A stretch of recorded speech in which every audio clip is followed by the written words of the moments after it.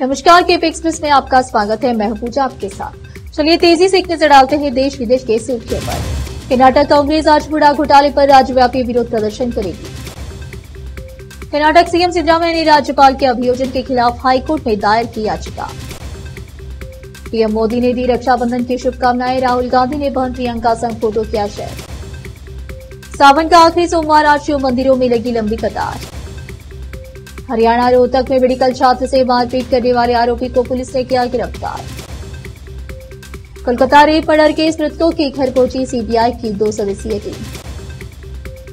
केंद्र ने तीन तलाक को अपराध बनाने वाले कानून का बचाव करते हुए सुप्रीम कोर्ट में नया हलफनामा दायर किया।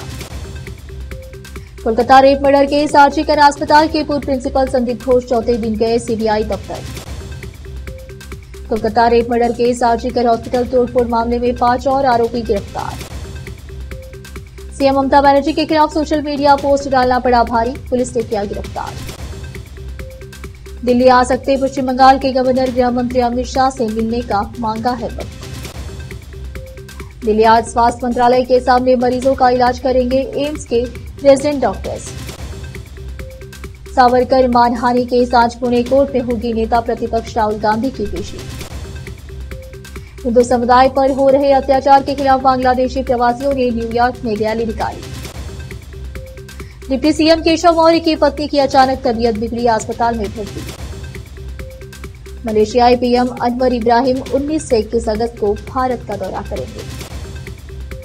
यूपी रक्षाबंधन पर 19 से 20 अगस्त को रोडवेज़ बसों में महिलाएँ मुफ़्त कर सकेंगी यात्रा, सीएम योगी का ऐलान। कोलकाता रेप मर्डर केस पूछताछ में शामिल होने के लिए सीबीआई दफ्तर पहुँचे चार मेडिकल छात्र। Kolkata doctor rape murder case, CBI की टीम पहुँची पीड़िता के घर। यूएस न्यूयॉर्क में निकाली गई इंडिया डे परेड भारतीयों ने लिया हिस्सा। नेपाल के विदेश मंत्री दियोबा आज एस जयशंकर से करेंगी बातचीत।